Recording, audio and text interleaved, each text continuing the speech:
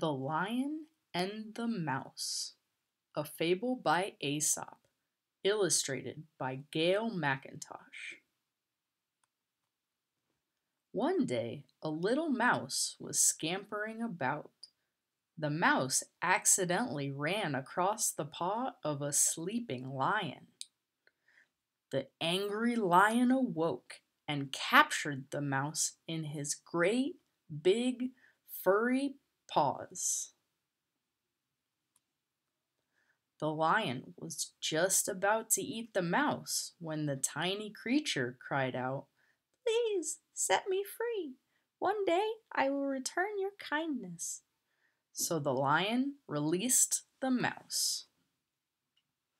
A little while later, the mouse heard what sounded like angry roars. Roar! Roar! The mouse followed the sounds and discovered the lion trapped in a net made of ropes. Though frightened, the mouse was determined to keep his promise. Using his sharp teeth, the mouse made a hole in the net, and so the great lion was set free by the little mouse.